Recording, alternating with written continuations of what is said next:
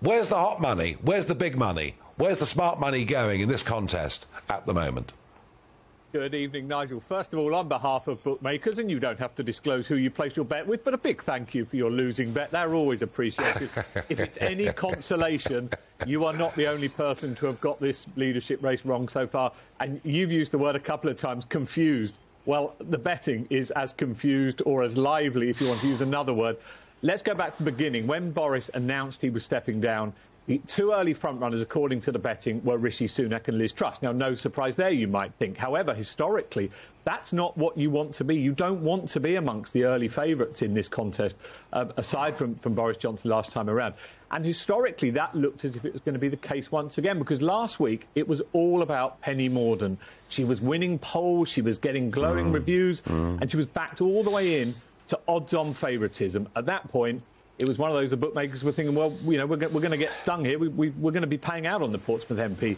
Over the weekend, just began to, to obviously slow down. Signs that all wasn't great in her camp. Over the weekend, Rishi Sunak regained favouritism.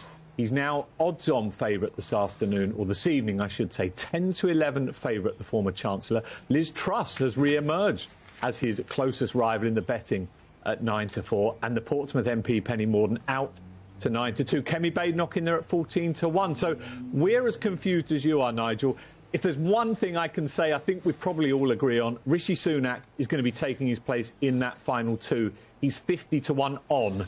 1 to 50 to do so. But who will he face? Well, the semi final, to use a sporting comparison, looks between Miss uh, Liz Truss at 4 to 7, 7 to 4 on, and Penny Mordaunt five to four to make the final two. So uh, we heard from Darren earlier saying he's loving it as a, as a politics follower.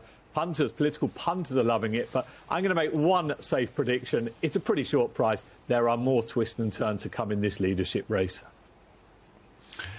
Well, absolutely. And I remember in 2005 when David Davis and David Cameron were the last two, and they, and they both went out and, and, and addressed party conference. And at that moment in time, bookmakers had stopped taking money on David Davis. So worried, worried were they about the amount to which they were going to get stung. Cameron gives one speech, the whole thing turns around, and he wins. So yeah, as you say, who's to know how this may turn? Another thought, final thought on all of this when it comes to betting. How big a market is political betting? It, I mean, it's a really big market for those that follow it. And that may sound a, a, a funny thing to say, but uh, we always think that, that betting actually tells one of the most accurate predictions, particularly when it comes to big national votes, because people are asked something by a polling company. They might not quite tell the truth. They might play their cards close to the chest. If you're having a bet, like yourself, Nigel, you put your money on Nadhim Zahawi because you thought that was what was going to happen. So we always think that the betting mm. is a really accurate guide. But as I say, on this particular occasion, there'll be a lot of Penny Mordaunt backers out there hoping she can make the sort of impact again. She needs to do it again for her backers. As I say, she was odds-on favourite. She's now 8 to 9 to 2. But you're absolutely right. David Davis was a red hot favourite. He had his feet in number 10, yeah. according to the betting. So, Rishi Sunak, you're not there just yet. Absolutely, it is. Political betting is wildly unpredictable, but you know what? I can just say this to you, David, as a bookmaker. I'm still doing okay as a result of Brexit and Trump. I'm just gently giving a little bit back to you boys, but I'm hoping it won't last too long.